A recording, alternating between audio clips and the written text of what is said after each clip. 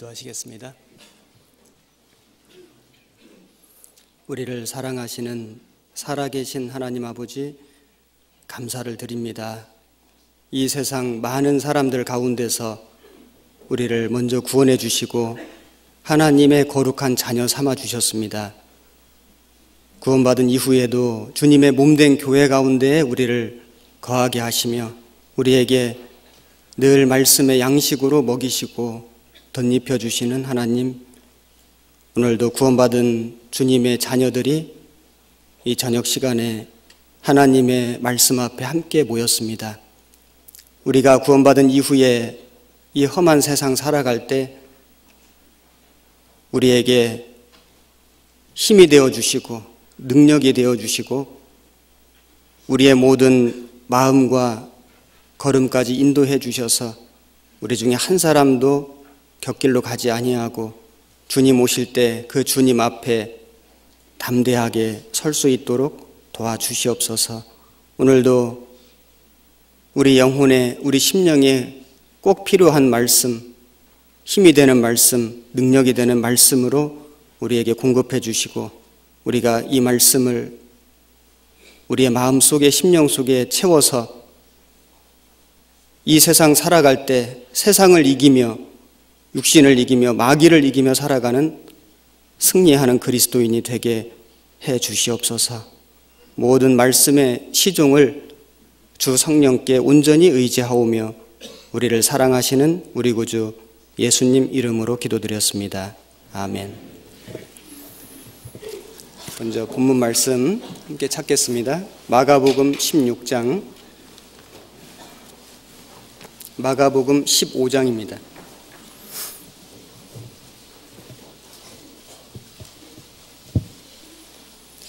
15장 16절부터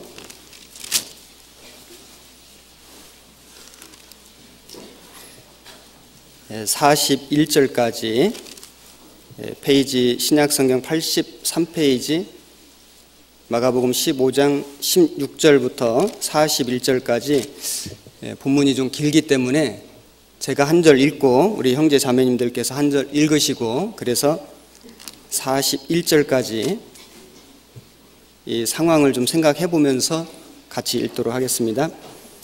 군병들이 예수를 끌고 브라이도리온이라는 뜰 안으로 들어가서 온 군대를 모으고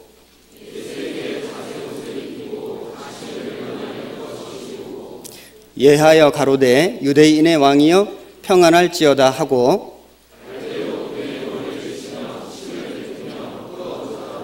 희롱을 다한 후 자색 옷을 벗기고 도로 그의 옷을 입히고 십자가에 못 박으려고 끌고 나가니라.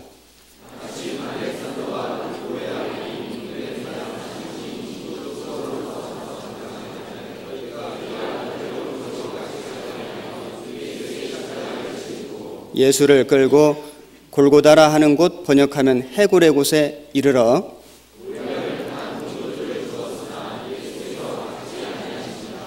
십자가에 못 박고 그 옷을 나눌새 누가 어느 것을 얻을까 하여 제비를 뽑더라. 그 위에 있는 죄패에 유대인의 왕이라 썼고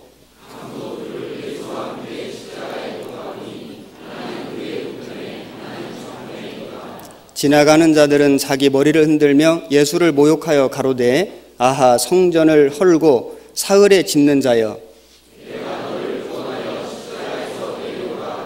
그와 같이 대제사장들도 서기관들과 함께 희롱하며 서로 말하되 저가 남은 구원하였으되 자기는 구원할 수 없도다.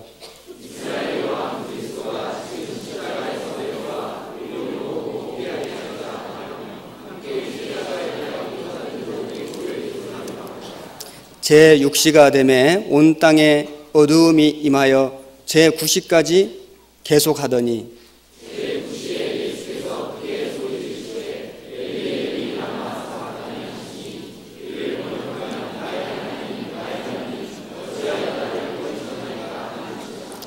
곁에 섰던 자 중 어떤 이들이 듣고 가로되 보라 엘리야를 부른다 하고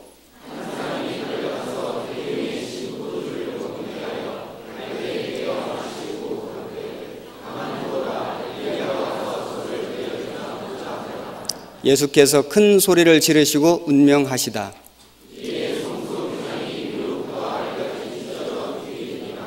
예수를 향하여 섰던 백부장이 그렇게 운명하심을 보고 가로되 이 사람은 진실로 하나님의 아들이었도다 하더라.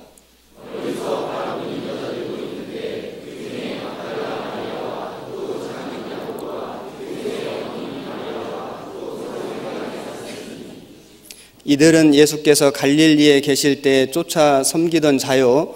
또 이 외에도 예수와 함께 예루살렘에 올라온 여자가 많이 있었더라. 41절까지 예, 예, 함께 읽어주셔서 감사합니다. 예, 정식으로 인사 올리겠습니다. 안녕하세요. 아, 제가 수요 말씀 시간에 처음 이 자리에 올라왔기 때문에 아주 간단하게 제 소개를 먼저 올리고자 합니다. 아, 저는 1984년 10월 16일 주님의 보혈로 구원받았습니다. 그리고 이름은 남궁은입니다. 성이 남궁이고 이름이 외자 은이기 때문에 남목사가 아니고 남궁 목사입니다. 저는 97년도에 어, 대전교회에서 어, 전도인으로 부름 받았고 어, 경북 상주에서 만 5년 그리고 서울 양천교회에서 9년 정도 교회를 담임하다가 이번에 서울 중앙교회로 부름을 받고 오게 되었습니다. 저는 단한 번도 제가 서울 중앙교회에 와서 이렇게 교제하고 전도하게 될 줄은 아, 생각지 못했습니다. 아, 그런데 예, 돌아보면 구원받은 이후에 하나님께서 어, 항상 제가 생각한 대로가 아니라 아, 하나님의 예, 방법대로 하나님의 뜻대로 저를 인도해 주셨다는 것을 알고 있습니다. 그래서 에레미야 10장에도 걸음을 지도함이 걷는 자에게 있지 않다는 말씀도 있고 또 잠언 16장에도 그 걸음을 인도하는 자는 여호와시라는 말씀도 있습니다. 그래서 어, 저를 인도해 주신 분이 하나님이시기 때문에 예, 하나님께서 합당한 은혜로 예, 저를 도와주실 것이라고 어, 믿습니다. 제가 여기 서울중앙교회에 예, 이사 온 지 이제 한 달 정도 되었는데 그동안에 짧은 시간이지만은 어, 새삼 느낀 것이 있습니다. 예, 저희 교회 안에 복음이 활발하게 전해지는 것은 이미 예, 오래 전에 예, 구원을 받고 이 복음을 위해서 수고하고 헌신하신 많은 신앙의 선배님들이 계셨기 때문에 우리 교회 안에 이렇게 복음이 활발하게 전해져 왔구나 하는 것을 느끼게 되었고 또 한 가지는 아, 지금도 수많은 형제 자매님들께서 보이지 않는 곳에서 이 복음을 위해서 예, 수고하고 헌신하고 계시기 때문에 지금 전국에 또 해외 여러 곳에 우리 복음이 하나님의 복음이 아주 힘 있게 활발하게 예, 전해지고 있다는 것을 예, 새삼 다시 생각하게 되었습니다. 제가 이제 예, 더 낮고 겸손한 마음으로 어, 많이 배워야 될 것 같습니다. 그리고 또 제게 주어진 일들, 맡겨진 일들을 예, 최선을 다해서 어, 해보도록 하겠습니다. 많은 예, 기도를 부탁드리겠습니다.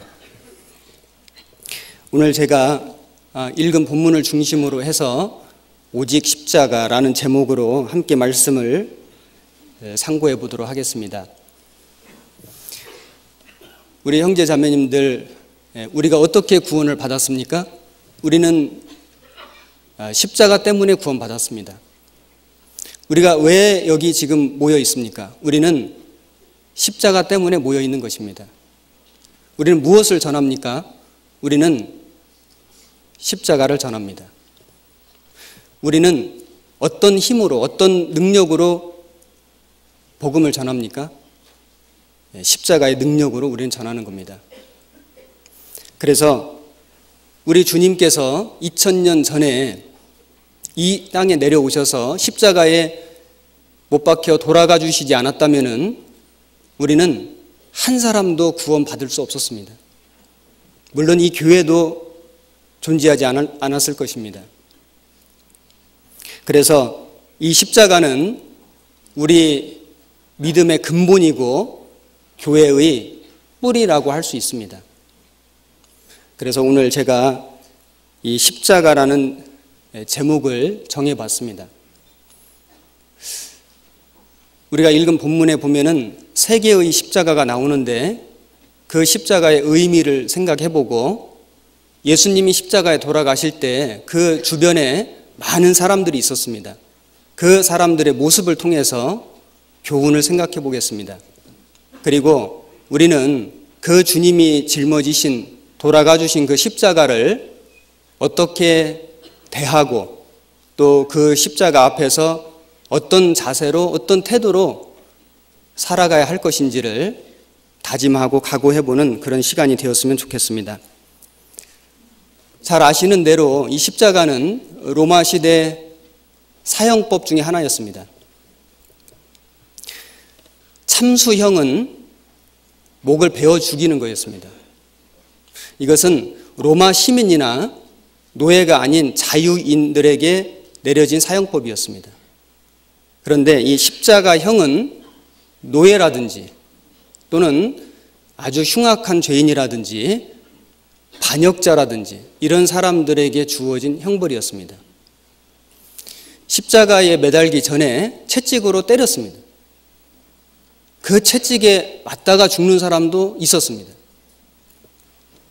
그리고 40kg이 넘는 십자가를 짊어지고 형장으로 올라가야 됐습니다. 주로 형장은 언덕 위에 있었는데 예수님께서도 800m 정도를 올라가셨습니다.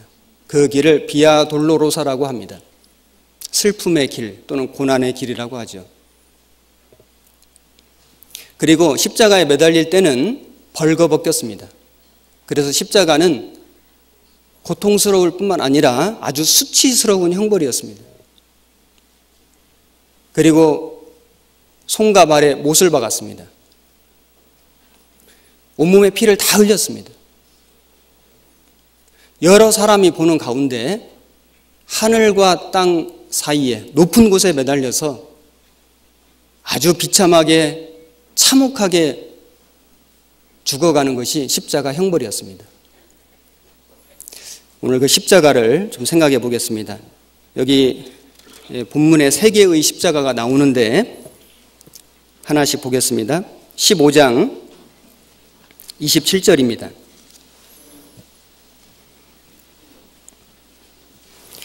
강도 둘을 예수와 함께 십자가에 못 박으니 하나는 그의 우편에 하나는 좌편에 있더라. 여기 첫 번째 십자가는 강도 두 사람이 달린 십자가였습니다. 다른 성경에 보면 행악자라고 나옵니다. 여기 마가복음 15장에다가 줄을 좀 넣어서 표시해 놓으시고 누가복음 23장을 보겠습니다.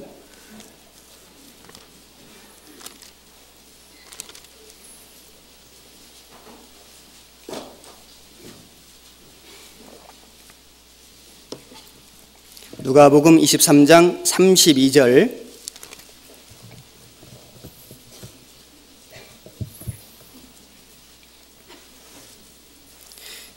(138페이지입니다) (32절) 또 다른 두 행악자도 사형을 받게 되어 예수와 함께 끌려가니라 해골이라 하는 곳에 이르러 거기서 예수를 십자가에 못 박고 두 행악자도 그렇게 하니 하나는 우편에 하나는 좌편에 있더라. 39절 보겠습니다. 달린 행악자 중 하나는 비방하여 가로되 네가 그리스도가 아니냐? 너와 우리를 구원하라 하되 하나는 그 사람을 꾸짖어 가로되 네가 동일한 정죄를 받고서도 하나님을 두려워 아니하느냐? 우리는 우리의 행한 일에 상당한 보응을 받는 것이니 이에 당연하거니와 이 사람의 행한 것은 옳지 않은 것이 없느니라 하고. 행악자는 악을 행하는 사람이죠. 이 두 사람은 자기들의 죄 때문에 십자가에 달렸습니다. 그리고 말하기를 우리는 마땅히 받을 형벌을 받는 것이다. 이렇게 말했습니다.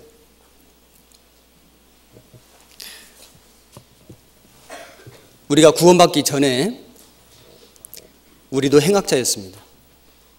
사실은 우리도 우리가 지은 우리가 행한 모든 죄 때문에 모든 악 때문에 십자가에 달렸어야 될 사람들이었습니다.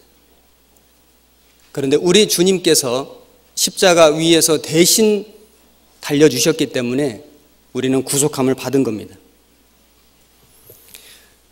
지금도 얼마나 많은 사람들이 악을 행하고 있지 않습니까?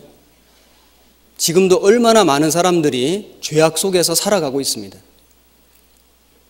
그들은 장차 이 두 죄인이 달렸던 그 십자가에 달리게 될 것입니다. 우리는 살면서 많은 장례식에 갑니다.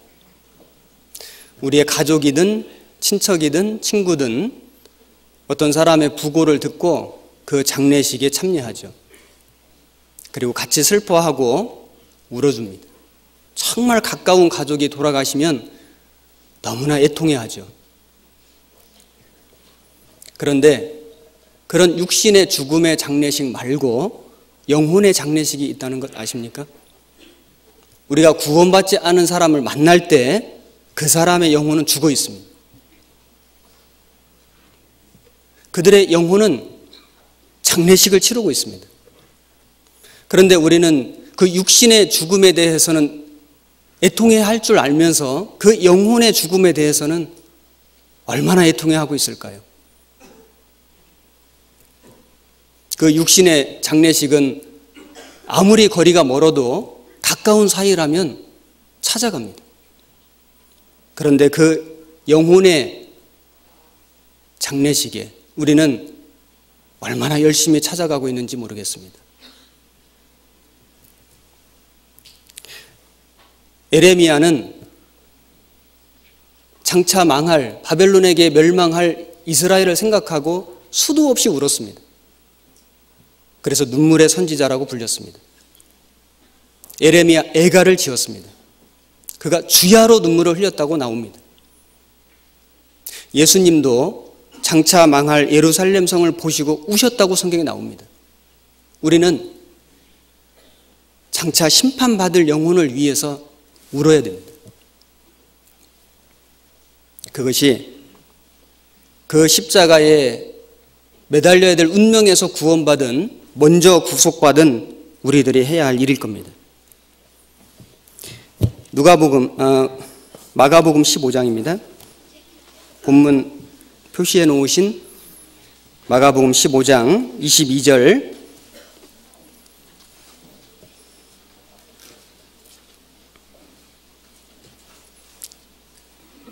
예수를 끌고 골고다라 하는 곳 번역하면 해골의 곳에 이르러 몰약을 탄 포도주를 주었으나 예수께서 받지 아니하시니라.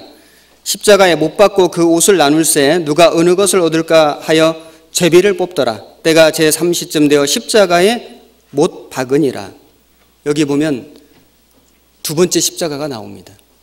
물론 우리 예수님께서 달려주신 십자가입니다. 종전에 두 죄수가 달렸던 십자가와 그 나무의 재질이나 모양이나 규격이 비슷했을 것입니다. 그렇지만 그 내용은 그 의미는 완전히 달랐습니다. 죄인들이 달린 십자가는 자기들의 죄 때문에 달렸던 십자가입니다. 그러나 우리 주님이 달려주신 십자가는 바로 우리의 죄 때문에 달려주신 십자가입니다.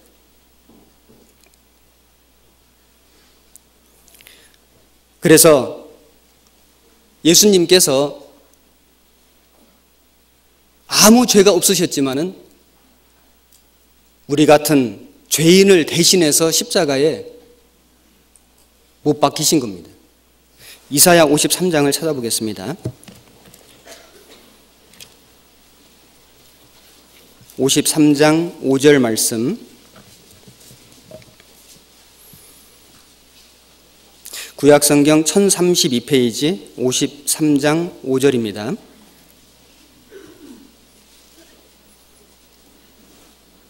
그가 찔림은 우리의 허물을 인함이요. 그가 상함은 우리의 죄악을 인함이라. 그가 징계를 받음으로 우리가 평화를 누리고 그가 채찍에 맞음으로 우리가 나음을 입었도다. 우리의 허물 때문에 우리의 죄 때문에 죄 없으신 예수님이 찔리셨습니다. 채찍에 맞으셨습니다. 12절. 이러므로 내가 그로 존귀한 자와 함께 분깃을 얻게 하며 강한 자와 함께 탈취한 것을 나누게 하리니 이는 그가 자기 영혼을 버려 사망에 이르게 하며 범죄자 중 하나로 헤아림을 입었음이라. 그러나 실상은 그가 많은 사람의 죄를 지며 범죄자를 이와여 기도하였느니라 하시니라. 주님은 많은 사람들의 죄 때문에 십자가를 지셨습니다. 그 많은 사람들 속에 우리가 들어가잖아요. 아니, 모든 세상 사람들이 들어가지 않습니까? 예수님은 아무 죄가 없으셨고 우리들을 대신해서 십자가를 지셨지만은 그 십자가에 못 박는 사람들을 위해서도 기도하셨습니다. 그 모습을 보고 한 강도가 회개하고 구원받았습니다. 주님이 십자가에 돌아가실 때 성소 휘장이 위에서부터 아래로 찢어졌다고 나옵니다. 본문 마가복음 15장 37절입니다.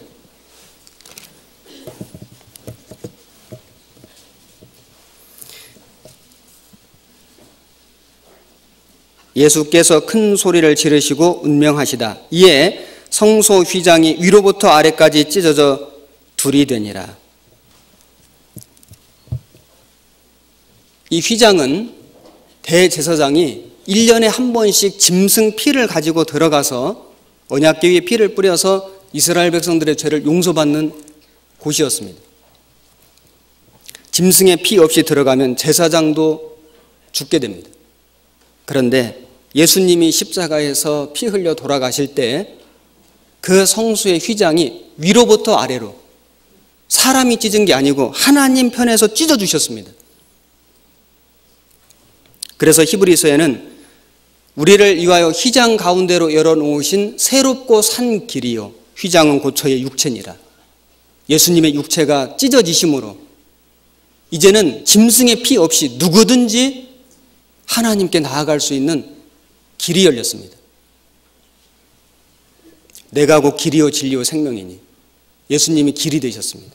생명이 되셨습니다. 진리가 되셨습니다. 그리고 성경에는 또 다른 십자가가 나옵니다. 본문 마가복음 15장 21절입니다.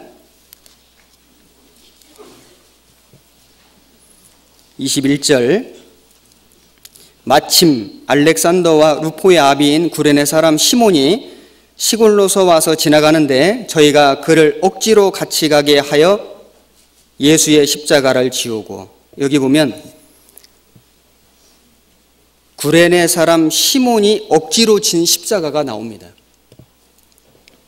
이 구레네라는 지방은 북아프리카에 있는 도시인데 이 사람은 명절을 지키기 위해서 이곳에 왔는지 아니면 이주해 왔는지는 모르지만은 유대인입니다. 예수님이 십자가를 짊어지시고 비아돌로로사 언덕길을 올라가실 때 너무 쇠잔해 계셨습니다. 그래서 그 어, 십자가를 짊어질 힘이 없었습니다. 계속 쓰러지고 넘어졌습니다. 일이 진행이 빨리 안 되니까 로마 군병이 마침 옆에 있던 건장해 보이는 한 사람을 지목했습니다. 이 십자가를 대신 짊어지라고 얘기했을 겁니다. 여기 보면 마침 억지로 이런 말씀이 나오죠. 마침. 그 사람은 마침 그 옆에 있다가 예수님의 십자가를 본의 아니게 짊어지게 된 겁니다. 우리가 성경을 읽어보면 하나님의 축복은 우연을 가장해서 올 때가 많이 있습니다. 우연인 것 같은데 돌아보면 그것이 하나님의 섭리였습니다. 룻이 시어머니 나오미를 따라서 에루살렘에 돌아왔습니다. 이삭을 죽기 위해서 밭에 갔습니다. 그런데 우연히 보아스의 밭에 갔다고 성경에 나옵니다. 우연히. 그런데 하나님의 섭리였잖아요. 그리고 그 밭에 가서 일을 하는데 마침 보아스가 와서 룻을 만납니다. 드라마 같죠? 드라마입니다, 드라마. 드라마 볼 필요 없습니다. 성경 드라마입니다. 우연히 갔는데 보아스의 밭이었고 마침 그때 보아스가 와서 룻을 만납니다. 조금만 더 읽어보면 그것이 우연이 아니고 하나님의 인도하심이었다는 거 금방 알 수 있습니다.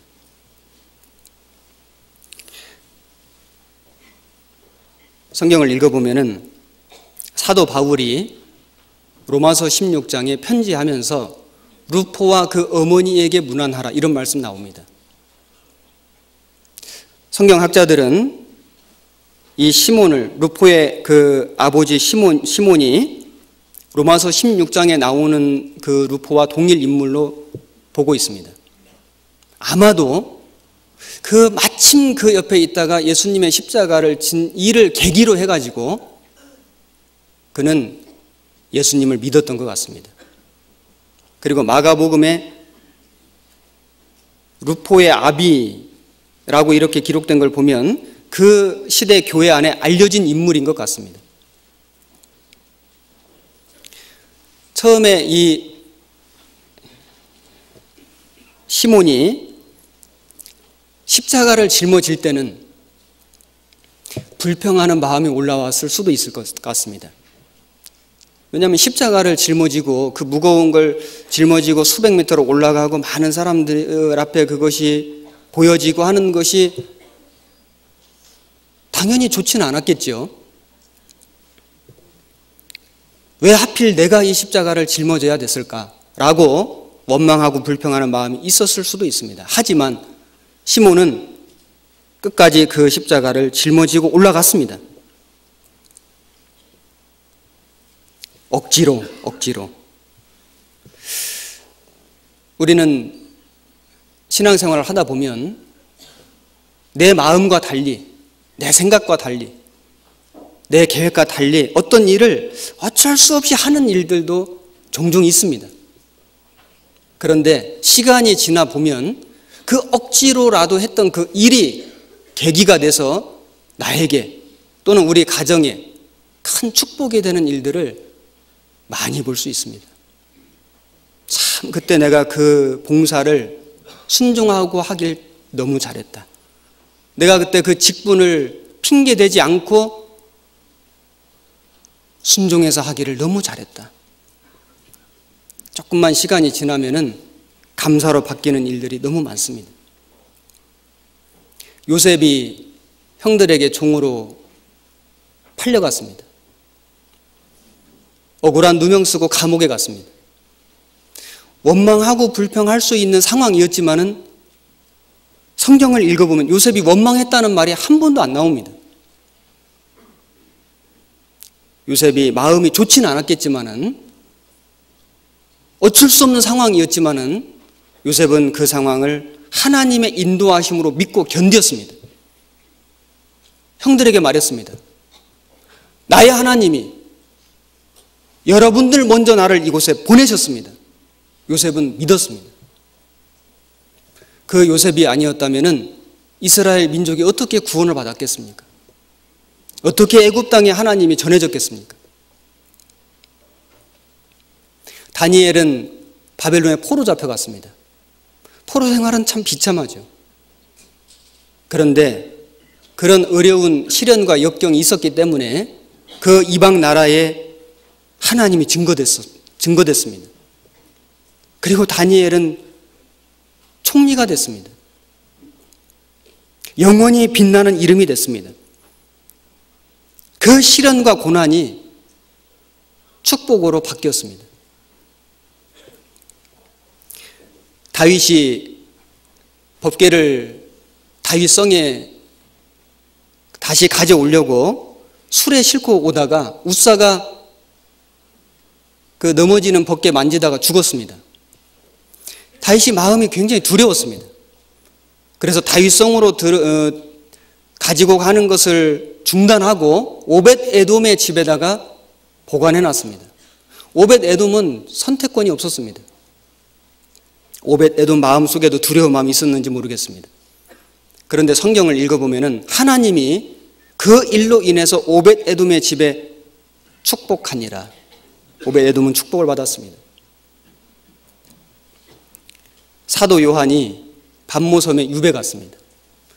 밧모섬, 파트모스, 파트모스라고 하는 성지순례 때 저도 밧모섬을 잠깐 들렸는데 지금은 귀족들의 휴양지지만은 당시에는 죄수들의 유배지였습니다.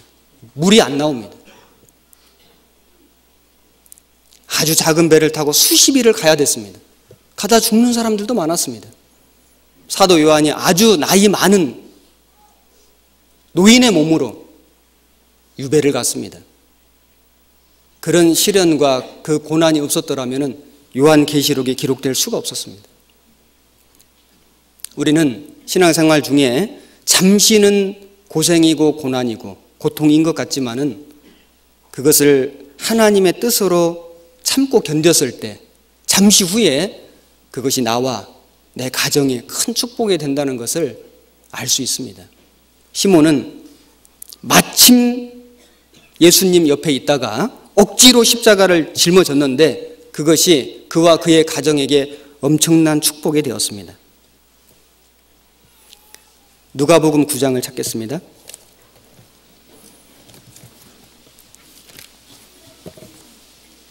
(23절)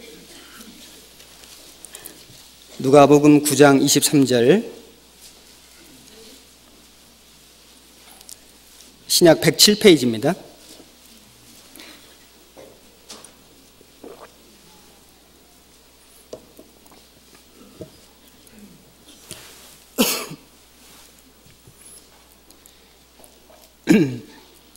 한 절만 같이 읽겠습니다. 또 무리에게 이르시되 아무든지 나를 따라오려거든 자기를 부인하고 날마다 제 십자가를 지고 나를 쫓을 것이니라. 여기 보면은 주님의 십자가를 지고 나를 쫓으라 하실 때 전제 조건이 자기를 부인하는 겁니다. 자기 부인. 자기를 부인한다는 게 참 어려운 것 같습니다. 우리가 구원을 받았지만은 자기 생각이 있고, 자기 계획이 있고, 자기 방법이 있고, 자기 뜻이 있습니다. 그런데 주님을 쫓아가려면 십자가를 짊어지려면 먼저 자기를 내려놓으라는 겁니다. 자기 생각을 버리라는 겁니다. 자기 방법을 버리라는 겁니다. 자기 뜻을 포기하라는 겁니다. 십자가를 짊어지기도 전에 자기를 부인하는 것이 정말 어렵습니다. 많은 신앙의 선진들은 주님을 잘 쫓아갔습니다. 십자가를 기꺼이 짊어졌습니다. 물론 그들은 한결같이 자기의 삶을 부인했습니다. 우리가 어떤 봉사를 맡을 때, 또 어떤 직분을 맡을 때, 자기 상황과 입장과 생각을 내세우면 할 수 있는 분들이 그리 많지 않습니다. 다 이유가 있고 어려운 상황들이 있습니다. 그런데 자기를 부인하는 사람은 순종할 수 있습니다. 그게 십자가입니다. 누가복음 14장 27절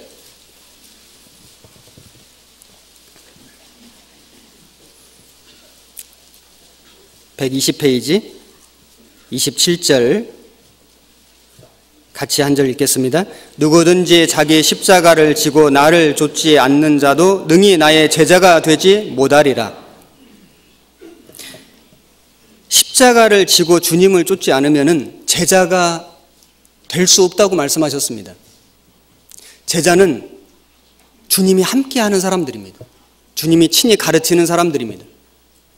주님이 동고동락하시고 주님이 그들에게 능력을 주시고 주님이 그들을 사용하시고 그들을 통해서 주님의 역사가 나타나는 사람들이 제자입니다. 구원받은 모든 사람들은 제자가 되어야 됩니다. 우리 마음속에는 제자 되기를 원합니다.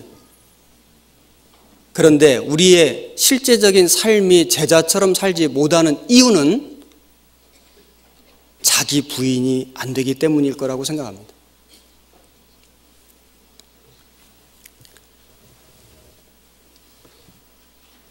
요단 계곡에 세 그루의 나무가 있었답니다. 그 나무들은 한결같이 자기 꿈이 있었습니다. 한 나무는 나는 성전의 재단이 되고 싶다.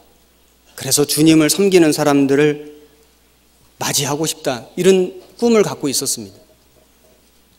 또 한 나무는 나는 지중해 바다에 큰 배가 되고 싶다. 그래서 많은 사람들을 실어 나르고 싶다. 이런 꿈을 가지고 있었습니다. 한 나무는 나는 이 요단 계곡에서 계속 남아서 아주 높이 자라서 하나님을 생각하고 또 나를 바라보는 사람들에게 하나님을 생각하도록 하고 싶다. 나름대로 이런 꿈을 갖고 살았습니다. 그런데 어느 날 나무가 베어졌습니다. 첫 번째 나무는 짐승의 구유가 됐습니다. 성전의 재단이 되고 싶었는데 짐승의 구유가 됐습니다. 그래서 마음에 원망이 올라왔습니다. 그런데 얼마 후에 그 구유 위에 우리 주님이 아기로 태어나서 누우셨습니다. 한 나무는 배를 짓는 공장에 가긴 갔는데 갈릴리 호수에 조그마한 고깃배가 됐습니다. 지중해 범선이 되기를 원했던 그 나무는 실망했습니다. 그런데 얼마 후에 우리 주님께서 갈릴리 호수에서 그 고깃배에 오르셨습니다. 거기서 말씀을 전하시고 제자들을 부르셨습니다. 한 나무는 잘려서 십자가가 되었습니다. 계속 남아서 높이 자라고 싶었던 꿈을 가졌던 나무가 잘려서 죄수가 달리는 십자가 형틀이 되었습니다. 처음에는 이 나무도 원망하고 불평했습니다. 그러나 얼마 후에 우리 주님께서 그 십자가에 달리셨습니다. 우리 인류를 구속하는 구원하는 일을 이루셨습니다. 영광의 십자가가 되었습니다. 이세 나무는 다 한결같이 자기들의 꿈이 깨졌습니다. 어긋났습니다. 잠시는 원망도 했습니다. 그러나 그들은 하나님을 위해 살고 싶었던 간절한 소망이 더 큰 모습으로 이루어졌습니다. 하나님이 그들을 쓰셨습니다. 오늘날도 우리는 나름대로 꿈을 갖고 있습니다. 이 세상에서도 꿈이 있고, 믿음 안에서도 꿈이 있습니다. 그 꿈이 이루어지길 바랍니다. 그런데 우리의 현실은 때로는 그 꿈이 깨어질 수도 있습니다. 내 뜻대로 내 계획대로 되지 않을 수도 있습니다. 그럴 때 우리는 나를 인도하시는 분이 계신다는 걸 믿고 어떤 일이 주어지더라도 어떤 길로 인도되더라도 묵묵히 순종하고 나갈 때 그 중심 속에 하나님이 있기 때문에 하나님이 그 사람을 더 영광스러운 모습으로 사용하실 거라고 믿습니다. 순종해서 그 길을 걸어가 본 사람은 그걸 압니다.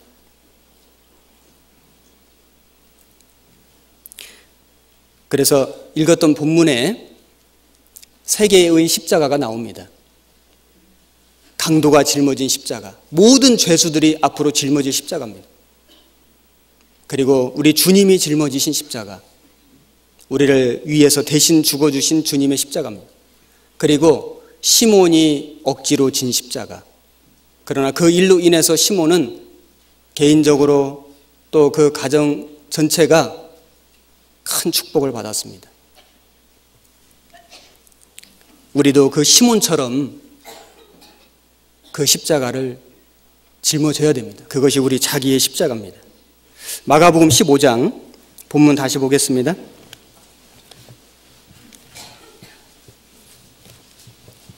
16절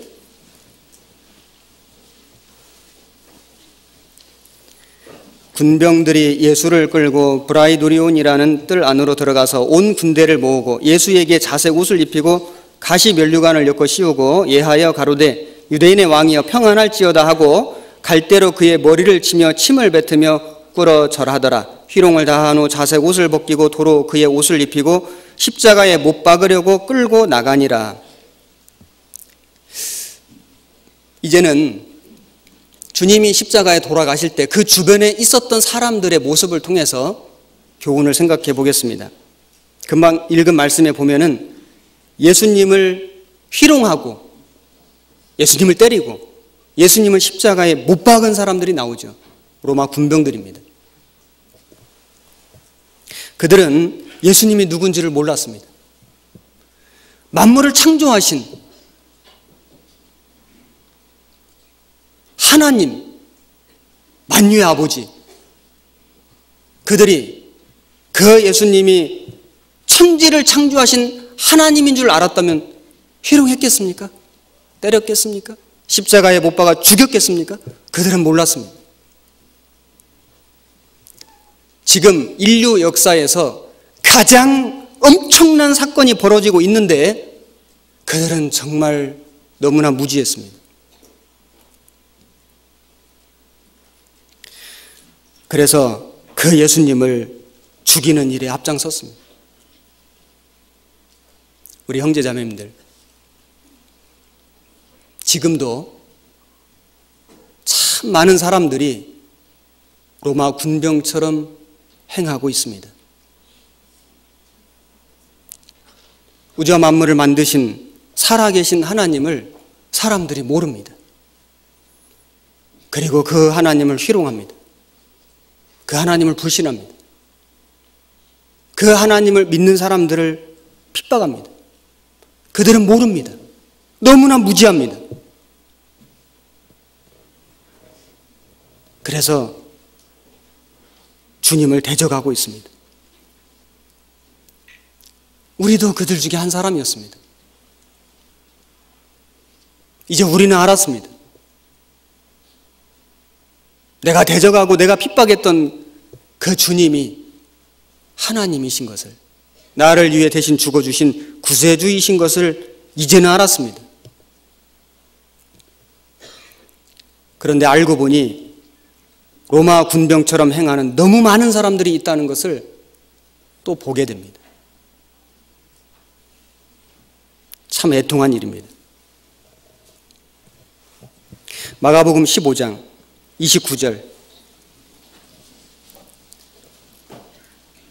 지나가는 자들은 자기 머리를 흔들며 예수를 모욕하여 가로되 아하 성전을 헐고 사흘에 짓는 자여 네가 너를 구원하여 십자가에서 내려오라 하고 여기 보면 지나가는 사람들이 나옵니다. 이 사람들도 한때는 예수님을 따랐던 사람들이었습니다. 수없이 많은 사람들이 주님이 이적을 행하실 때 구름대처럼 몰려갔습니다. 에루살렘 성에 입성하실 때 호산나를 외치면서 주님을 환영한 사람들도 굉장히 많았습니다. 그런데 그들의 육신의 소원을 그들의 세상적인 요구를 이루어 들어주지 않는다는 이유로 그들은 예수님을 미워했습니다. 마음을 돌렸습니다. 태도를 바꿨습니다. 그리고는 이제 주님이 돌아가시는 그 십자가 옆을, 옆을 지나갔습니다. 지나가면서 조롱했습니다. 지금도 얼마나 많은 사람들이 주님의 십자가를 지나가고 있지 않습니까?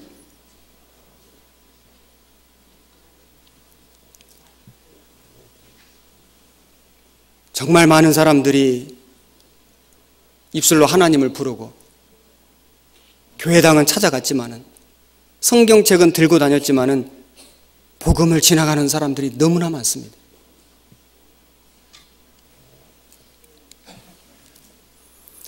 아마 우리 형제 자매님들께서 그동안 인도하셨던 수없이 많은 영혼들이 있을 겁니다. 그들 중에도 이 주님의 복음을 지나간 사람들이 너무나 많이 있습니다.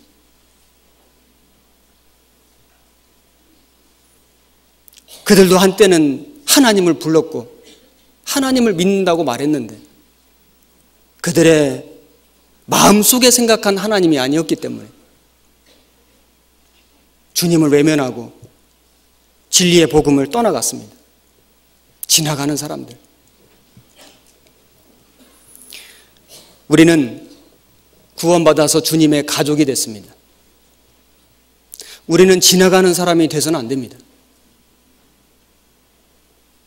우리는 복음을 지나가면 안 되죠. 우리는 형제 자매님들을 지나가는 사람이 돼서는 안 됩니다. 우리는 교회의 어려움을 보고 지나가는 사람이 돼서는 안 됩니다.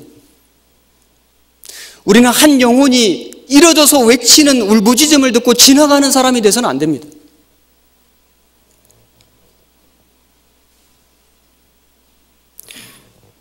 누가복음 23장을 보겠습니다.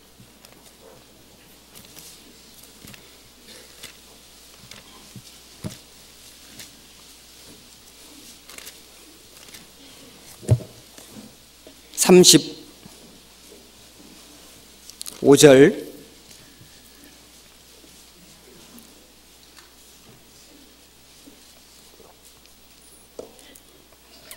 백성은 서서 구경하며 관원들도 비웃어 가로되 저가 남을 구원하였으니 만일 하나님의 택하신 자 그리스도여든 자기도 구원할지어다 하고 48절도 보겠습니다.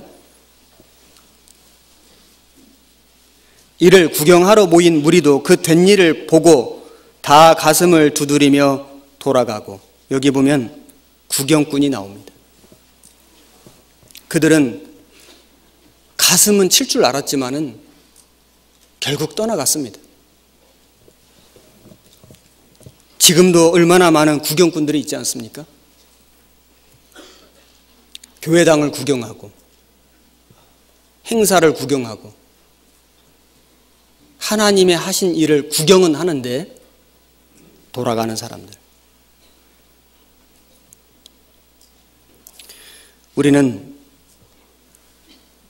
복음의 구경꾼이 돼서는 안 됩니다.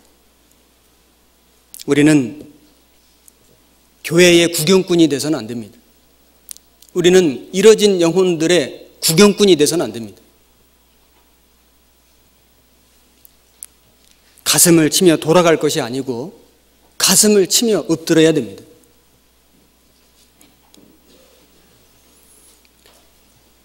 그리고 마가복음 15장 본문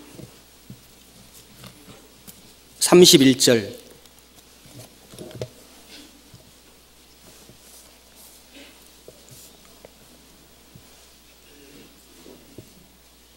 그와 같이 대제사장들도 서기관들과 함께 희롱하며 서로 말하되 저가 남은 구원하였으되 자기는 구원할 수 없도다.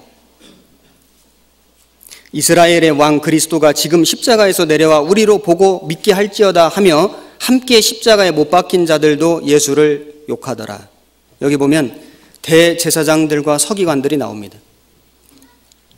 그들은 하나님을 믿는 모양을 냈습니다. 정말 열심히 믿는 것 같았습니다. 그런데 그들은 예수님을 시기했습니다. 그 예수님 때문에 자기들의 기득권을 빼앗길까봐 염려했습니다. 그래서 예수님을 죽이자고 소리 지르고 결국 예수님을 못 박는데 앞장섰습니다. 지금도 이런 종교인들 너무 많습니다. 어떤 교회의 어떤 목사님들은 물론 복음 없는 교회죠. 자기 교회 신도가 교인이 구원을 받고 간증을 하면 기뻐해야 되잖아요. 자기는 그 영혼을 구원 못했지만 그 사람이 구원받다면 기뻐하고 감사해야 되잖아요. 그 교회는 절대 가지 말라고 얘기합니다.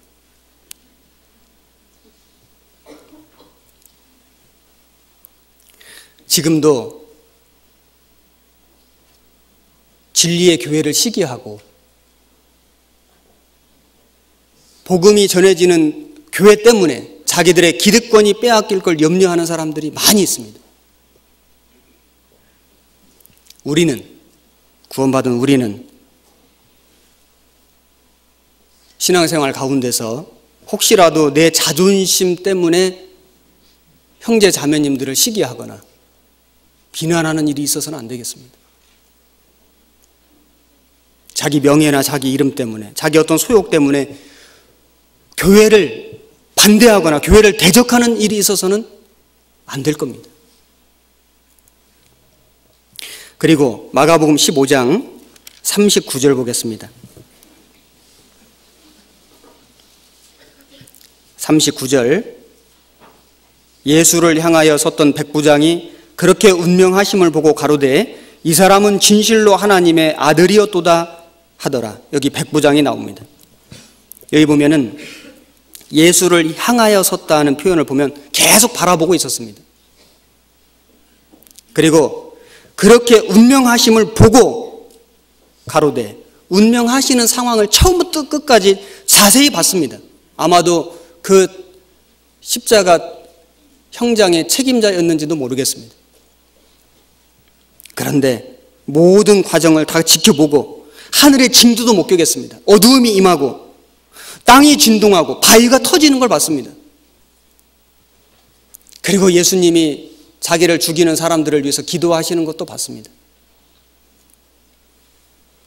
백부장이 고백하기를 이 사람은 진실로 하나님의 아들이었도다. 엄청난 고백을 했습니다. 전승에 의하면은 이 백부장이 하나님을 믿고 예수님을 믿고 교회 안에서 전도하다가 순교했다는 기록이 있답니다.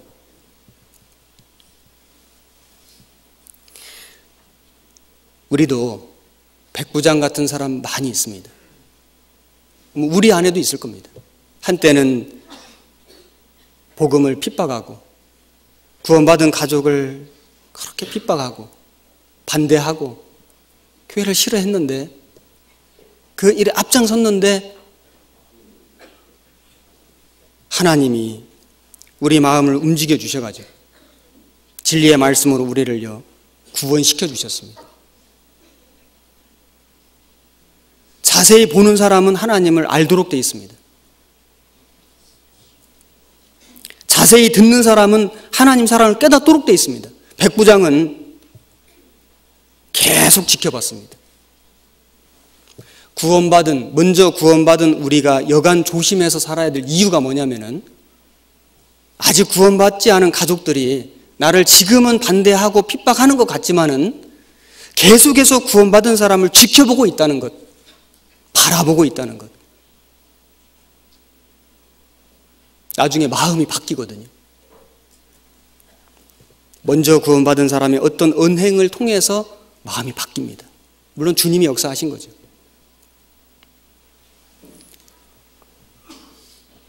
그는 진정 의인이었도다. 믿음을 고백했습니다. 사도 바울이 원래 사울이었습니다. 내가 전에는 회방자고 핍박자고 포행자이었으나 내가 긍휼을 입은 것은 내가 믿지 아니할 때 알지 못하고 행하였습니다. 우리가 다 그랬습니다. 마가복음 15장 40절 멀리서 바라보는 여자들도 있는데 그 중에 막달라 마리아와 또 작은 야고보와 요세의 어머니 마리아와 또 살로메가 있었으니 이들은 예수께서 갈릴리에 계실 때조차 섬기던 자요 또 이 외에도 예수와 함께 예루살렘에 올라온 여자가 많이 있었더라. 처음에는 주님을 따랐던 여자들이 멀리서 예수님의 처형 장면을 바라본 것 같습니다. 그러다가 나중에 그 중에 몇 사람이 예수님 돌아가시는 십자가 옆으로 왔습니다. 아마도 그들은 어떤 수모를 겪더라도 어떤 순환을 겪더라도 상관없다. 그 주님을 차마 멀리서 바라만 보고 있을 수가 없어서 그래서 주님의 십자가 옆으로 왔을 겁니다. 우리는 멀리서 바라만 볼 것이 아니라 주님의 십자가 옆으로 와야 됩니다.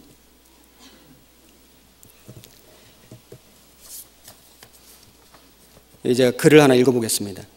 신사 참배를 거절하다가 옥사한 주기철 목사님 설교문 중에 주님 위하여 오는 고난을 내가 피하였다가 다음에 내 무슨 낯으로 주님을 대하오리까? 주님을 위하여 이제 당하는 수욕을 내가 피하였다가 다음에 주님이 너는 내 이름과 평안과 즐거움을 다 받아 누리고 고난의 자는 어찌하고 왔느냐고 물으시면 나는 무슨 말로 대답하랴? 주님을 위하여 오는 십자가를 내가 이제 피하였다가 이 다음에 주님이 너는 내가 준 유일한 유산인 고난의 십자가를 어찌하고 왔느냐고 물으시면 나는 무슨 말로 대답하랴? 그는 결국 옥사했습니다. 그는 십자가 옆에서 죽었습니다. 그래서 그 이름이 아름다운 이름이 됐습니다. 요한복음 19장을 보겠습니다. 19장 25절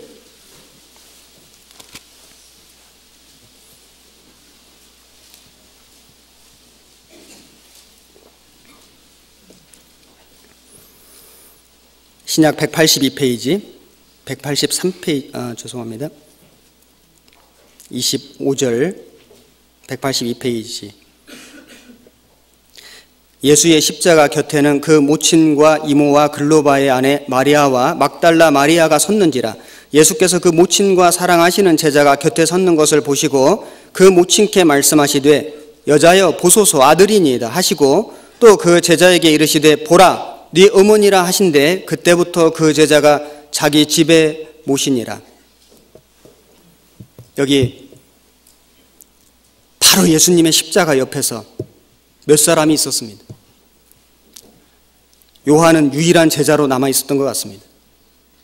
예수님이 모친에게 얘기했습니다. 보소서 아들이니이다. 요한에게 얘기했습니다. 보라, 네 어머니라. 그래서 이 요한이 그때부터 자기 집에 모셨다고 되어 있습니다. 이건 무슨 의미가 있을까요? 예수님의 십자가 옆에서 새로운 가족이 태어났습니다. 이제는 육신의 혈연의 관계가 아니라 주님의 피로 영원히 함께 살 영적 가족이 태어났습니다. 우리 형제 자매님들, 우리는 육신으로도 가족들이 있습니다. 하지만 그 육신의 가족보다도 사실은 주님의 십자가 때문에 만난 영원한 가족. 영원히 천국에서 함께 할 가족. 그 가족의 그 무게가 육신의 가족보다 훨씬 더 크고 무겁습니다. 피는 물보다 진하다. 그러나 피보다 진한 성령, 성령으로 우리는 하나 됐습니다. 그렇지 않습니까? 어떤 장례식장에 가보면은 누가 정말 이 유족인지 잘 모르는 그런 것도 있습니다. 육신의 가족보다도 교회 형제 자매님들이 더 친밀하고 더 헌신적이고 더 같이 마음 아파하고 우리는 신앙생활을 하면서 내게 이렇게 많은 엄청난 영원한 가족을 주셨다는 것에 대해서 감격해야 됩니다. 주님의 십자가 옆에서 새로운 가족 관계가 형성이 됐습니다. 우리는 구원받을 때 그 주님의 십자가에서 구원받았습니다. 사실 우리 심령은 구원받을 때 그때 그 십자가 옆에 있었습니다. 그래서 그 주님의 흘리시는 피를 받고 그 음성을 들었고, 그리고 그 피가 우리 영혼에 적셔졌습니다.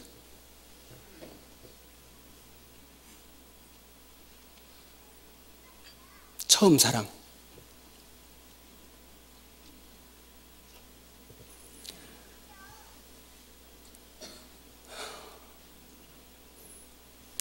내가 주님을 처음 만날 때, 우리 형제 자매님들께서도 다 그때가 있었을 겁니다. 내가 처음 주님 만났을 때, 어떤 분은 1년 전에, 어떤 분은 3년 전에, 어떤 분은 10년 전에, 어떤 분은 30년 전에, 훨씬 그 더 전에, 우리 다 십자가 옆에 있었습니다.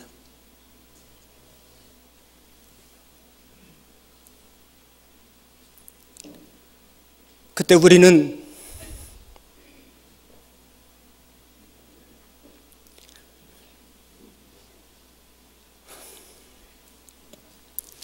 우리 주님의 음성을 들었습니다.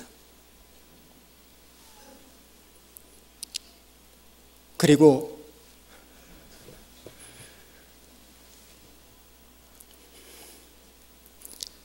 그 흘려주시는 그 주님의 피가 우리 마음속에 믿어졌습니다. 처음 사랑. 우리는 아무리 세월이 흘러도 그 주님 처음 만난 그날, 그 장소, 잊어서는 안 됩니다.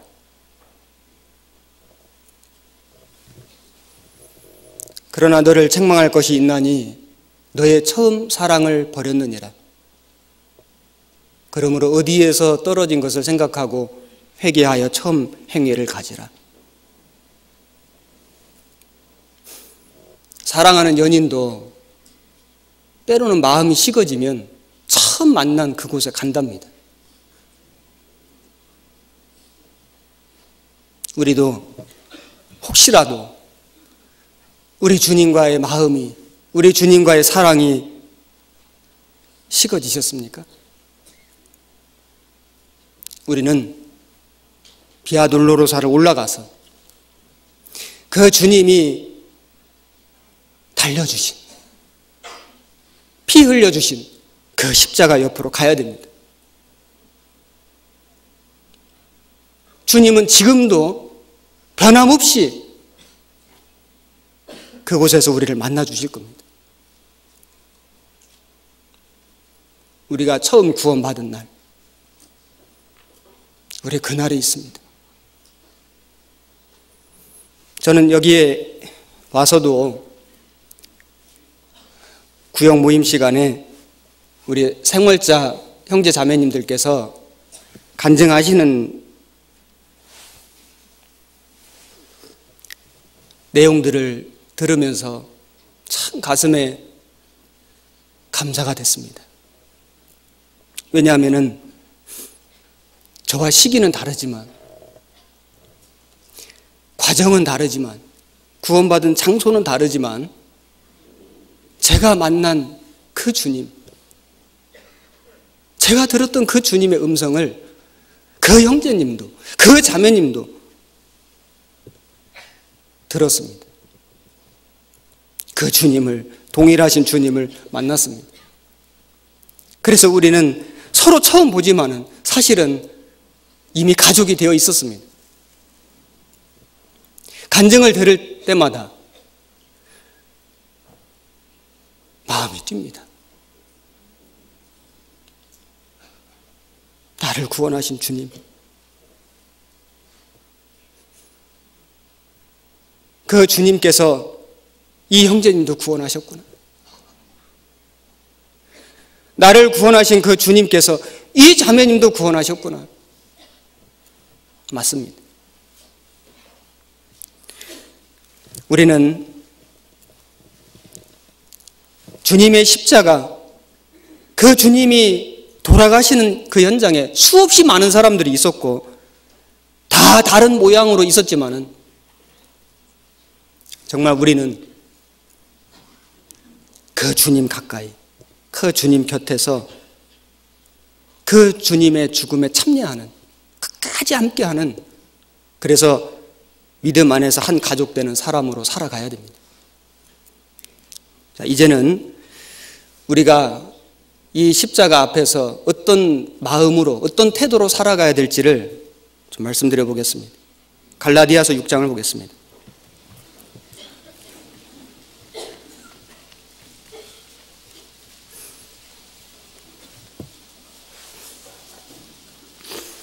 14절 6장 14절 309페이지입니다. 한 절만 같이 읽겠습니다. 그러나 내게는 우리 주 예수 그리스도의 십자가 외에 결코 자랑할 것이 없으니 그리스도로 말미암아 세상이 나를 대하여 십자가에 못 박히고 내가 또한 세상을 대하여 그러하니라. 자, 여기 보면 사도 바울은 이제는 십자가 외에는 내가 결코 자랑할 것이 없다고 말했습니다. 바울은 십자가를 자랑했습니다. 사실 바울은 구원받기 전에 자랑할 것이 많았습니다. 그는 육신적으로 굉장히 많은 좋은 조건들을 갖고 있었습니다. 그는 히브리인 중에 히브리인이고 베냐민 지파고 이름도 사울입니다. 베냐민 지파의 왕 사울을 따서 이름도 사울이고 로마 시민권자고 바리새인이고 가말리엘 문화에서 배웠습니다. 엘리트였습니다. 여러 언어를 구사했습니다. 아주 똑똑한 유망한 사람이었습니다. 자랑할 것이 너무 많았습니다. 그런데 다메섹 선상에서 주님을 만나고 그가 구원받은 이후에 그는 모든 것을 배설물처럼 버린다고 얘기했습니다. 왜냐하면 너무 귀중한 걸 얻었기 때문에 나는 이제 십자가 외에는 자랑할 것이 아무것도 없다고 얘기하고 있습니다. 십자가를 자랑한다는 것은 그의 인생관, 그의 가치관이 바뀌었다는 걸 얘기하는 겁니다. 참으로 구원받은 사람들은 인생관이 바뀝니다. 가치관이 바뀝니다. 그동안 내가 참으로 가치 있게 여겼던 것을 이제는 가치 없게 여기고, 그동안은 가치 없게 여겼던 것들이 이제는 너무나 가치 있게 여겨지는 이게 가치관이 바뀐 거지 않습니까? 바울이 그랬습니다. 우리도 그래야 됩니다.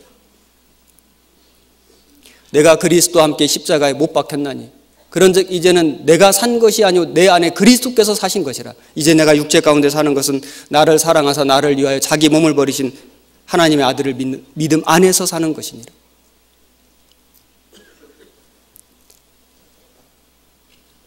인생관 가치관이 바뀌는 것이 맞습니다. 그리고 예수님을 십자가를 자랑한다는 것은 값을 지불하는 걸 얘기하는 겁니다. 17절 보겠습니다. 17절 한 절 같이 읽겠습니다. 이후로는 누구든지 나를 괴롭게 말라. 내가 내 몸에 예수의 흔적을 가지노라. 바울의 몸에는 많은 흔적이 있었습니다. 바울은 말로만 십자가를 자랑한 것이 아니고 그의 삶으로 십자가를 자랑했습니다. 담대히 전했습니다. 그로 말미암아 많은 고난을 받았습니다. 감옥에 갇혔습니다. 매를 수도 없이 맞았습니다. 죽을 위기도 넘겼습니다. 그의 몸에는 많은 흔적이 있었습니다. 바울은 그 흔적도 자랑했습니다. 내가 내 몸에 예수의 흔적을 가졌노라. 우리도 우리의 삶 속에 주님의 십자가 때문에 갖게 된 흔적이 있어야 됩니다. 그것이 십자가를 자랑하는 삶입니다. No cross, no crown. 십자가 없이는 영광이 없습니다.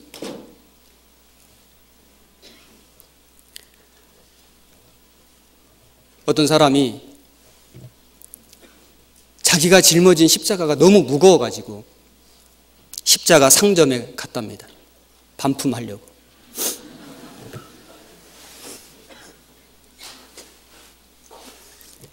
그, 그런 상점 없습니다.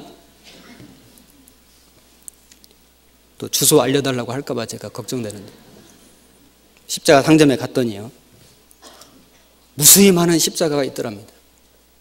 그래서 주인에게 이렇게 말했답니다. 이 십자가 너무 마음에 안 들기 때문에 좀 바꿔가게 해달라고. 그래서 주인이 마음에 드는 거 골라보시라고. 그래서 이 사람이 하루 종일 거기 있는 십자가를 전부 다 짊어져 봤는데 어떤 거는 모양은 작은데 짊어져 보니까 아프기만 하고 어떤 건 좀 가벼워 보이는데 저 보니까 오히려 더 무겁고 그래서 다 한 번씩 짊어지고 나서 이제 하나 골랐습니다. 주인에게 말했답니다. 아, 이 십자가가 그래도 그 중에 제일 마음에 든다고. 그랬더니 주인이 하는 말이 그 십자가로 가져가시라고. 그런데 그 십자가는 선생님이 아침에 짊어지고 온 그 십자가라고. 아무리 바꿔서 짊어져 봐도 내가 지금 짊어지고 있는 그 십자가가 제일 나에게 합당한 십자가일 겁니다. 왜냐하면 십자가 골라주신 분이 누굽니까? 하나님이 골라주신 거예요. 우리는 그걸 믿어야 됩니다. 어떤 크리스찬이 십자가 너무 무거워가지고 좀 조금만 잘라달라고 하도 사정하니까 한 번 잘라줬답니다. 그런데 또 가다 보니까 욕심이 생기잖아요. 한 번만 더 잘라달라고. 한 번 더 잘라줬답니다. 마지막으로 3, 세번 한 번만 더 잘라달라고. 한 번 더 잘라줬답니다. 이제 요단강 앞에 갔는데 다른 사람들은 짊어지고 온 십자가를 강둑에 턱턱 올려놓고 잘 건너가는데 자기는 십자가를 걸터 놓고 가려고 하니까 너무 잘라가지고 갈 수가 없었다는 이야기를 책에서 읽었습니다.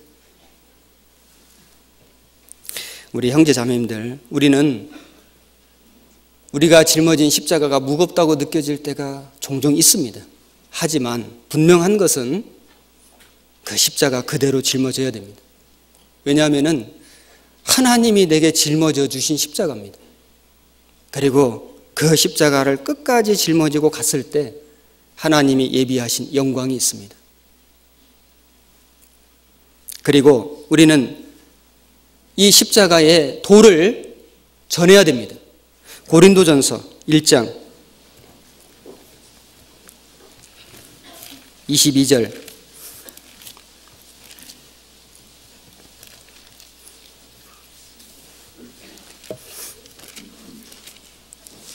신약 264페이지 22절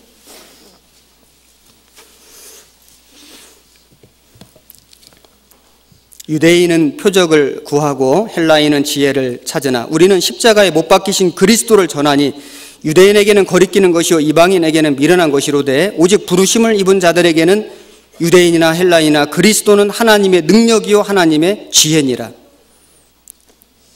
여기에 우리는 구원받은 사람들은 십자가에 못 박힌 그리스도를 전하니 우리는 전해야 됩니다. 왜냐하면 그 십자가의 사랑을 받았잖아요.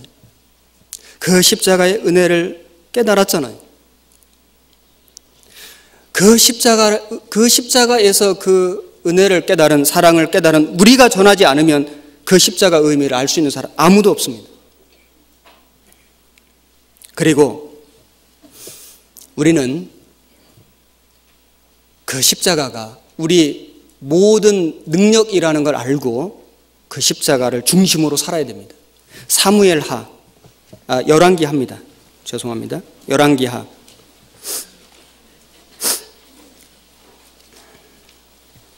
이장 19절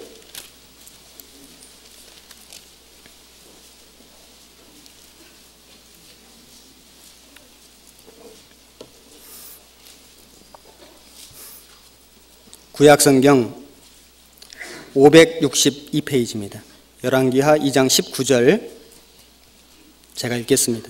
그 성 사람들이 엘리사에게 고하되 우리 주께서 보시는 바와 같이 이 성읍의 터는 아름다우나 물이 좋지 못하므로 토산이 익지 못하고 떨어지나이다. 엘리사가 가로되 새 그릇에 소금을 담아 네개로 가져오라 하매 곧 가져온지라 엘리사가 물 근원으로 나아가서 소금을 그 가운데 던지며 가로되 여호와의 말씀이 내가 이 물을 고쳤음, 고쳤으니 이로 쫓아 다시는 죽음이나 토산이 있지 못하고 떨어짐이 없을지니라 하셨느니라 하니 그 물이 엘리사의 말과 같이 고쳐져서 오늘날에 이르렀더라. 여기 여리고 성에 엘리사와 그 성, 어, 생도들이 죽어 있습니다. 그런데 그 터는 아름다웠지만 물이 좋지 않았습니다.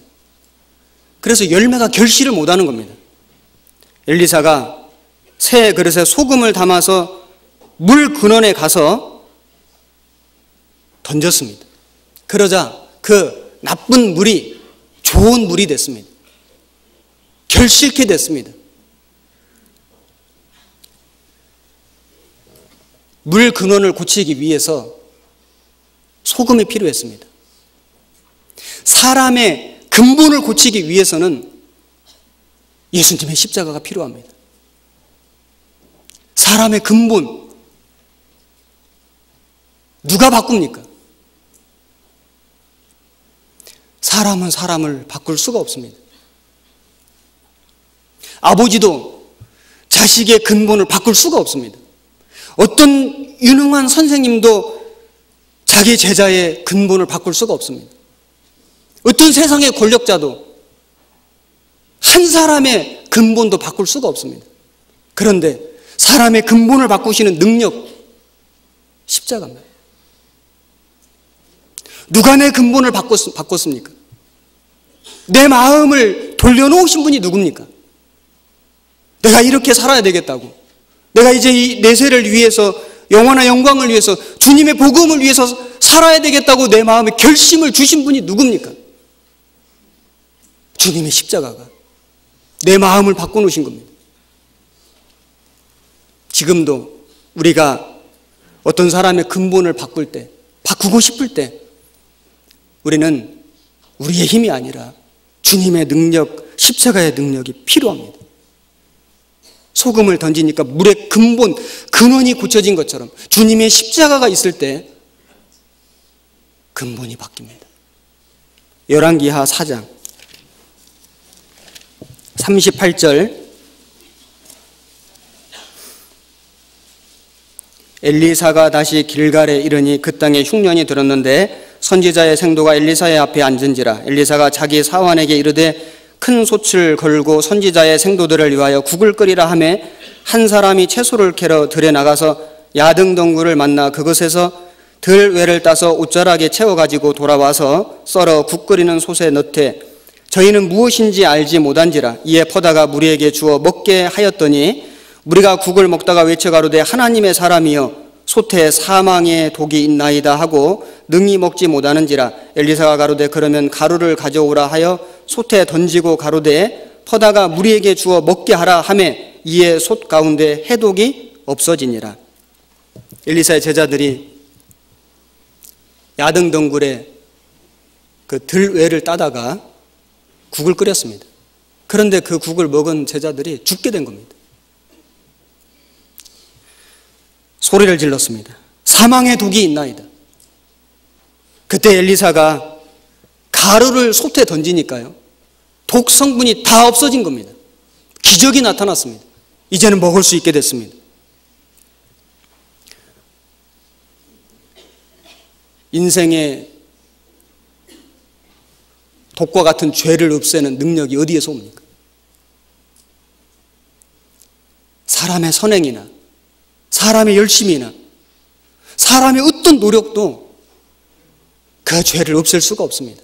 그런데 가루, 주님의 그 온유한 성품, 그 소재물처럼 부서지고 빠지신 주님, 그 십자가, 그 십자가만이 사람의 죄를 없앨 수가 있습니다. 우리는 구원받은 이후에도 우리의 삶 속에 발로 묻어 들어오는 죄. 그래서 요한 1서에 자백하면 미쁘시고 우로사 우리 죄를 사하시며 우리는 구원받을 때도 주님의 십자가가 필요했고 지금도 주님 오실 때까지 계속해서 주님의 십자가가 필요합니다. 우리는 그 십자가 중심으로 살아가야 됩니다. 열왕기하 6장 1절 선지자의 생도가 엘리사에게 이르되 보소서 우리가 당신과 함께 거한 곳이 우리에게는 좁으니 우리가 요단으로 가서 거기서 각각 한 제목을 취하여 그곳에 우리의 거할 처소를 세우사이다. 엘리사가 가로되 가라 그 하나가 가로되 청컨대 당신도 종들과 함께 하소서. 엘리사가 가로되 내가 가리라 하고 드디어 저희가 저희와 함께 가니라. 우리가 요단에 이르러 나무를 베더니 한 사람이 나무를 벨 때에 도끼가 자루에서 빠져 물에 떨어진지라. 이에 외쳐 가로되 아 내 주여 이는 비로운 것이니이다. 하나님의 사람이 가로되 어디 빠졌느냐 하매 그곳을 보이는지라. 엘리사가 나무가지를 베어 물에 던져서 도끼로 떠오르게 하고 가로되 너는 취하라. 그 사람이 손을 내밀어 취하니라. 여기 보면 엘리사와 생도들이 집을 짓고 있습니다. 우리 주님께서 구원받은 사람들과 함께 신령한 집을 지어 가십니다. 교회입니다. 나무로 집을 짓는데 도끼로 나무를 베었습니다. 그런데 실수로 그 도끼가 물에 빠졌습니다. 도끼는 물에 뜹니까? 가라앉습니까? 가라앉습니다. 그 사람이 소리를 질렀습니다. 아, 이는 비로운 것이니이다. 도끼의 능력이 있습니다. 그 능력은 원래 우리 것이 아니었습니다. 하나님께서 우리에게 빌려주신 것이었습니다. 이제 도끼가 없어졌기 때문에 집 짓는 일을 할 수가 없었습니다. 그때 엘리사가 나뭇가지를 던지니까 기적이 나타났습니다. 도끼가 또 올랐습니다.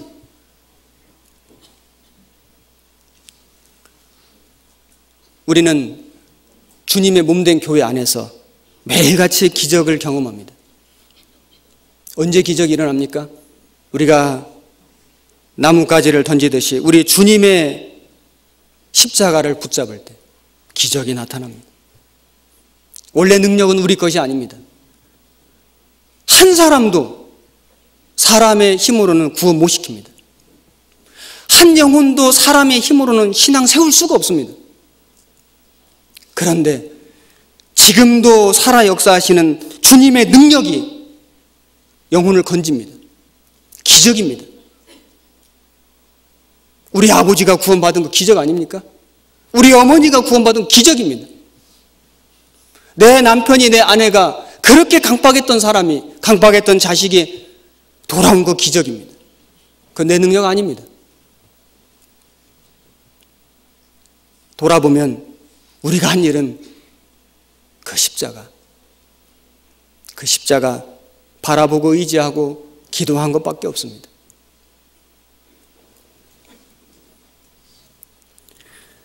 그런데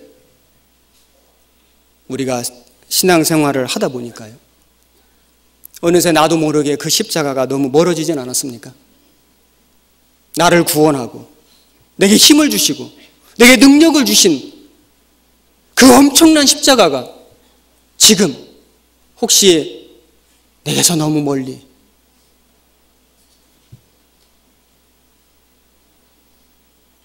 멀리 떠나오지는 않았는지 혹은 물에 빠지지는 않았는지.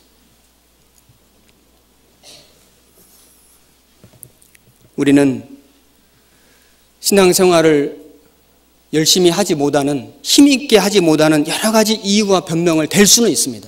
하지만 내 양심은 알고 있습니다.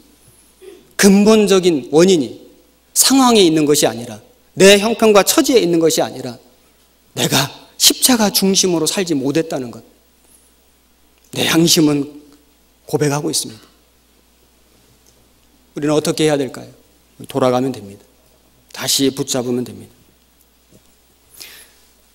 제가 서울 양천교회를 떠나면서 떠나는 이사하는 날 저녁에 밤늦은 시간에 우리 양천교회 홈페이지에다가 글을 하나 썼습니다. 적어왔습니다.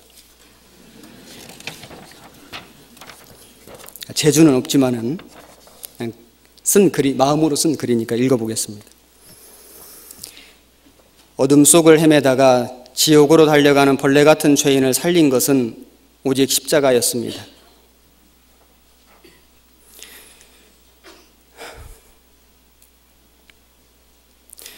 골고다 언덕 높이 세워진 그 몸서리 치게 무서운 십자가에 주님이 달리셨습니다.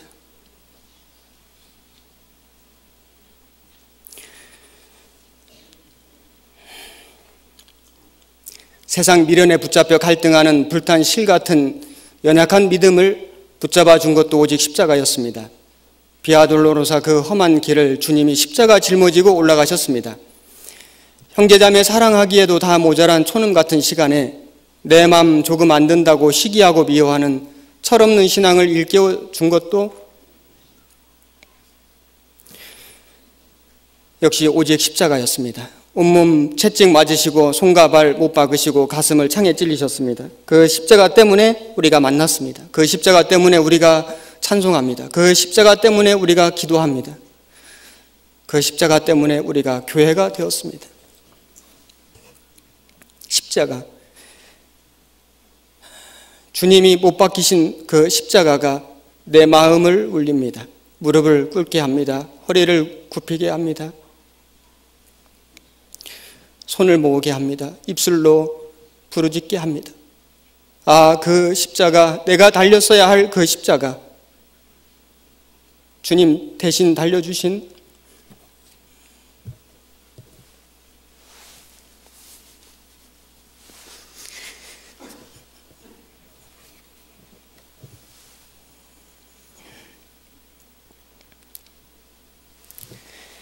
그 은혜 너무나 죄송해서 주님 흘려주신 그 보혈 너무나 고마워서 그 십자가 나도 지렵니다. 기꺼이 짊어지고 주 따르렵니다. 십자가 나의 모든 것 나에게는 오직 십자가 뿐입니다.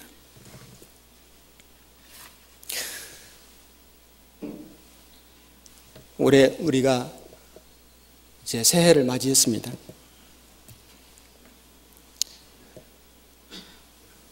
정말 우리에게 주어진 시간이, 세월이 얼마나 남았는지는 모르겠습니다. 우리의 신앙생활 시작이 십자가였습니다. 그리고 그 십자가 때문에 여기까지 왔습니다. 우리 그 십자가 전하기 위해서 무진해를 썼습니다. 아직 그 십자가 모르는 사람들 너무 많습니다. 우리에게 더욱 십자가의 능력이 필요합니다. 나 혼자서는 안 되기 때문에 우리가 같이 십자가 곁으로 모입니다. 주님이 지금도 이 순간에도 우리와 함께 계십니다. 포드 자동차 회사에 큰 거대한 발전기가 고장이 났답니다. 그 회사의 모든 기술자를 다 동원해도 수리를 할 수가 없었답니다. 그래서 전기 분야의 1인자를 초빙해 왔습니다. 그런데 그가 망치 하나 들고 발전기를 여기저기 두드려 보더니 을 잠시 후에 발전기가 가동이 됐습니다. 그리고 며칠 후에 청구서가 날라왔는데 무려 청구서 금액이 만 달러였습니다. 그래서 포드가 회신을 보냈답니다. 돈 대신에. 아니, 망치로 몇 번 두드리고 1만 달러는 너무 하지 않소? 답장이 왔답니다. 망치로 두드린 공임은 10달러고 어디를 두드려야 될지 아는 기술료가 9,990달러. 그래서 포드가 아무 말도 하지 않고 만 달러 보냈답니다. 이 세상에 많은 사람들은 자기에게 행복을 가져다 주는 곳을 두드리고 삽니다. 재물도 두드리고, 명예도 두드리고, 인기도 두드리고, 아름다움도 두드립니다. 그런데 사실은 그것으로 우리는 행복 찾을 수 없습니다. 구원받은 그리스도인들은 무엇을 두드려야 될지를 아는 사람들이라고 생각합니다. 올해 우리는 주님을 두드리고 성경을 두드리고 교회를 두드리고 형제자매 마음을 두드리고 이뤄진 영혼들을 두드리고 그래서 십자가의 그 도를 사랑을 전했으면 좋겠습니다. 우리에게는 십자가밖에 없습니다. 기도하겠습니다. 우리를 죄와 사망에서 구원해 주신 고마우신 하나님 아버지 감사합니다. 오늘 우리가 이 수요 집회에서 나를 대신해서 십자가 위에 돌아가 주신 그 주님의 은혜와 사랑을 다시 한번 생각해 봤습니다. 머리 숙여 기도하는 모든 형제 자매님들에게 더욱 그 십자가를 가까이 할 수 있게 해주시고 그 십자가 중심으로 남은 삶을 살 수 있도록 인도해 주옵소서. 올해 우리가 건재될 영혼들 깊이 생각하고 그들을 찾아가고 그들에게 이 십자가의 도를 담대히 전하는 우리가 되게 해 주옵소서. 다음 주부터 있는 집회에도 함께 해 주시고, 말씀 전하시는 목사님과 함께 해 주시고, 영혼들 인도하는 모든 입술과 마음에 함께 해 주시고, 집회 내내 주님의 능력으로 함께 해 주옵소서, 우리를 구원해 주신 고마우신 예수님 이름으로 기도드렸습니다. 아멘.